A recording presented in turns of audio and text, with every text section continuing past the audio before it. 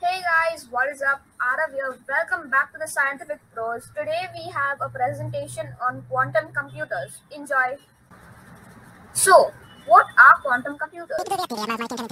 Or in simpler words, a quantum computer is a type of computer that uses quantum mechanics so it can perform certain kinds of computation more efficiently than a regular computer can.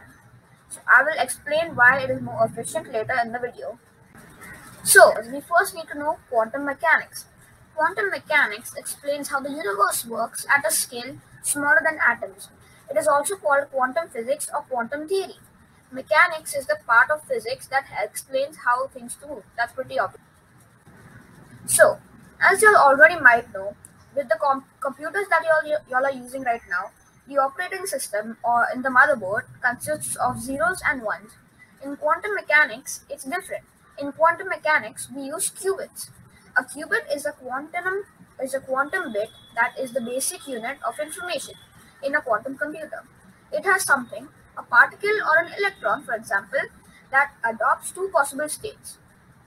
And while it is in superposition, the quantum computer and especially built algorithms harness the power of these both states. So while normal computers harness the power only 0 or 1, the quantum computers can do both. So, uh, the great question how do they work? How do computers actually work? Quantum computers perform calculations based on the probability of an object state before it is measured. So, it predicts what you're going to do, so uh, that can make the computer faster. Instead of just ones or zeros, which means they have the potential of process exponentially more data compared to classical computers like I explained in the previous, uh, like I explained in the previous slide. So now let's move on to who invented, who are these geniuses who invented quantum computers. So, who invented them?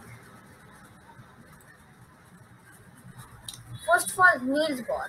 Niels Henrik David Bohr was a Danish physicist who made a foundational contribution to understanding atomic structures and, of course, the quantum theory. Next, Max Planck. Max Karl Ernst Ludwig Planck, for MEM-RS, was a German theoretical physicist whose discovery of energy quanta won him the Nobel Prize in Physics in, 19, uh, in 1918. So, energy quanta is basically another word in, in German for quantum, that is quantum computers. So, um, yeah, we're gonna end it off there. Thank you for watching.